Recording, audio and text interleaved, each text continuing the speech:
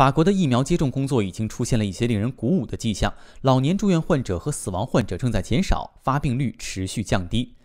据法国媒体报道，法国养老机构于二零二零年十二月二十七号开始接种疫苗，今年一月十一号开始接种速度有所加快。一月十八号起，社会上七十五岁以上老人也获准接种疫苗。法国疫苗战略指导委员会主席阿兰·舍菲尔认为，从逻辑上讲，二月底之前，养老机构的死亡人数会继续减少。与此同时，截至二月十八号，养老机构和长期病房的老年人至少注射了一剂疫苗的比例为百分之七十七点一，完成两剂疫苗注射的比例为百分之四十三点九。不过，这种因果关系应该谨慎看待。疫苗对死亡率的影响不可能立竿见影，这会存在一个滞后期，从感染到死亡的时间段通常为三周，但对健康脆弱的人来说可能会更短。